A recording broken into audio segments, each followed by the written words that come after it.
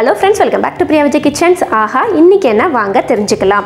இன்றைக்கி உடைய ஃபேக்ஸை பற்றி நம்ம பேச ஆரம்பிச்சிடலாம். நம்ம சாப்பிட்ற சாப்பாடு நல்லா ஜெரிமான் ஆகணும் அப்படின்னா நல்லா மென்று நம்ம எச்சிலோட கலந்து நல்லா மென்று சாப்பிடணும்னு சொல்லுவாங்க. ஆனால் முக்கால்வாசி பேர் நம்ம இப்போ அப்படி சாப்பிட்றது இல்லை ஸோ அது வேறு ட்ராக்கு அதை அதை பற்றி நம்ம இன்னொரு நாளைக்கு தனியாக பேசலாம்.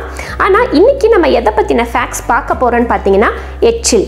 எஸ் சலைவா பற்றின ஃபேக்ட்ஸ் தான் நம்ம இன்னைக்கு இந்த வீடியோவில் பார்க்க போகிறோம் ஸோ ஒரு நாளைக்கு நமக்கு எவ்வளோ எச்சில் சுரக்குது அப்படின்னு பார்த்தீங்கன்னா பாயிண்ட் செவன் லிட்டர்ஸ்லேருந்து ஒரு லிட்டர் வரைக்கும் சுரக்குதான் இது வந்து பர்சன் டு பர்சன் டிஃபர் ஆகும்னு சொல்கிறாங்க ஸோ ஒவ்வொருத்தவங்களுக்கு வந்து அதிகமாக சுரக்கலாம் ஒருத்தவங்களுக்கு கம்மியாக சுரக்கலாம். ஸோ ஆனால் ஆவரேஜாக பாயிண்ட் செவன் லிட்டர்ஸ்லேருந்து ஒன் லிட்டர் வரைக்கும் சுரக்குமா?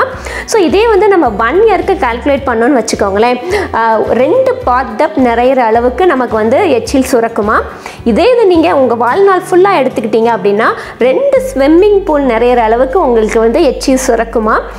மீன்ஸ் ஆவரேஜ் ஆவரேஜாக ஒரு செவன்ட்டி இயர்ஸ் வாழ்கிறவங்க பர்சனுக்கு நம்ம எடுத்துக்கிட்டோன்னா ரெண்டு ஸ்விம்மிங் பூல் நிறையிற அளவுக்கு அவங்களுக்கு வந்து எச்சில் சுரக்குமா? ஒரு ஃபேக்ஸை தெரிஞ்சுக்கிட்டீங்க. வேற ஒரு ஃபேக்ஸில் சந்திக்கலாம். தேங்க்யூ தேங்க்ஸ் ஃபார் வாட்சிங்